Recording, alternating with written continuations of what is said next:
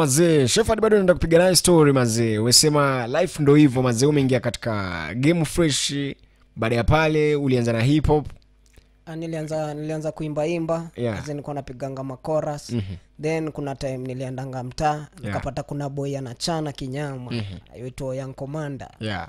e, akaniosha akanidis so hiyo time nika nikaendanga nikachukua kalamu na mm-hmm. pepa nikasema hacha nijaribu kuandika kitu inaitwa rap mm-hmm. Kwanzia hapo nikakuwa neza neza rap neza imba yeah. yeah.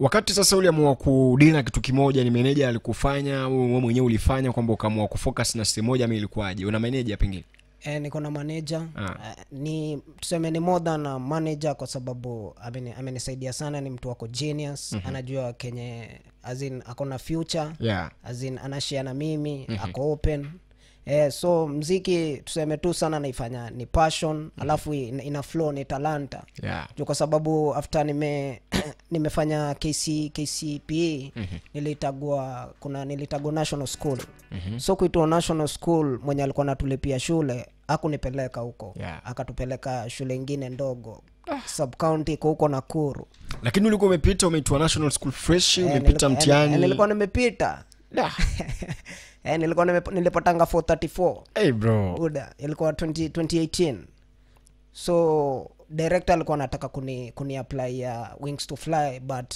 huyo mlami mwenye alikuwa anatulipia shule hapo alikuwa mm -hmm. na watoto kama 30 mm-hmm. so akamwambia akiniaplaia anawatoa wote.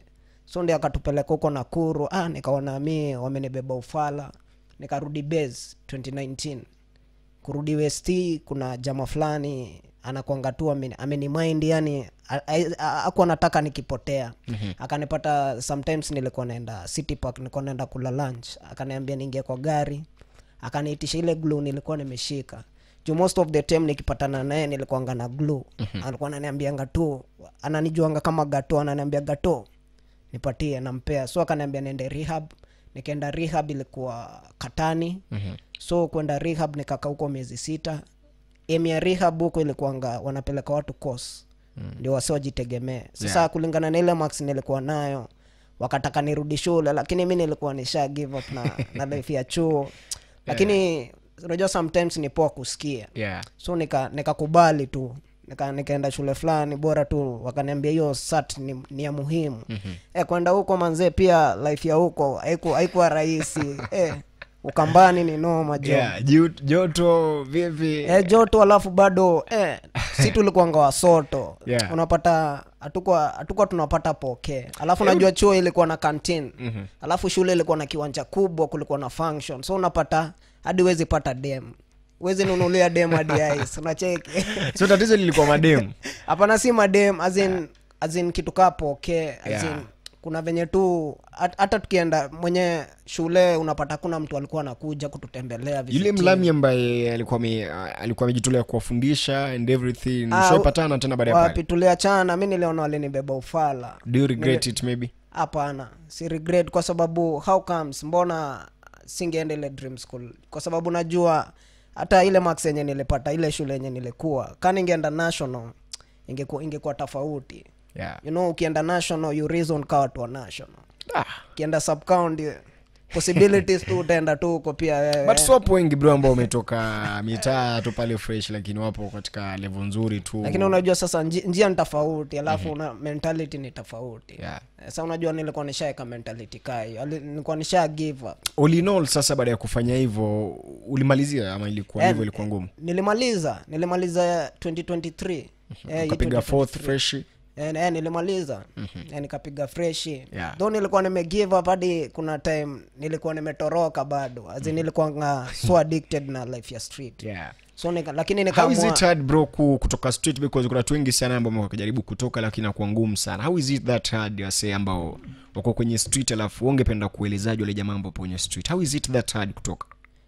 Hey, ina, inakwanga unapata msee umezoea ile life ya freedom. Kuna mm. ile freedom umezoea so unapata hata hiyo freedom uki, ukipata mali kama uende shule mm-hmm. unapata vitu zenye ulikuwa unafanya azin ulikuwa unafanya huko ufanye huko azin hiyo uhuru hauna. Mm-hmm. sahii uko, uko grounded unaambi ufanye hii. Hapo ulikuwa umezoea unatembea hapa unalala senye unataka. Pale high school lazima uamke ngware.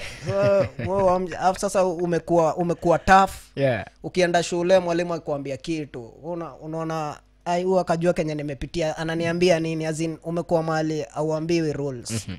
azin wende unajirule. Noma sana. Alafu bado addiction ya glue manzee ni noma. Ukianza kutumia ma, kwa, kwanza mimi nilikuwa ilikuwa inalala kwa mdomo.